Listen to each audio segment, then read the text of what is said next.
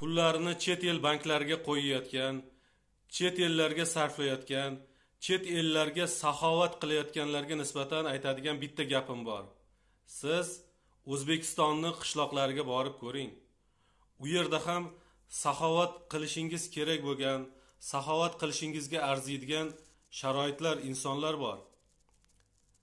Misol uchun gazlashmagan suv yetib bormagan elektr toki yetib bormagan qishloqlar bor. Mani eng qadrdon do'stim bog'chada birga bo'lgan maktabda birga bo'lgan litseyda institutda toshkentda birga o'qigan bir do'stim gaz yo'qligi uchun o'sha to'ydan keyin sovuq kunlardan asranish uchun gaz ballon olib kirib yetti kunlik kelin kuyov gazdan zaharlanib vafot etgan.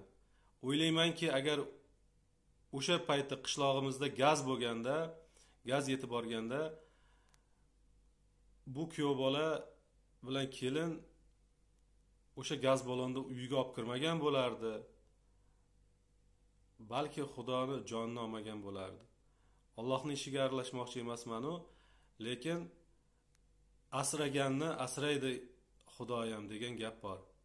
Shuning uchun bizni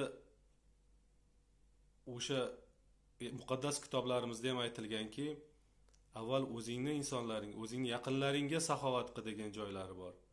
Shu ma'noda gapimdan to'g'ri xulosa qilib ozgina qishloqlarimiz obodligi uchun ham hissa qo'shamiz degan umiddaman. Hammaga omad rahmat.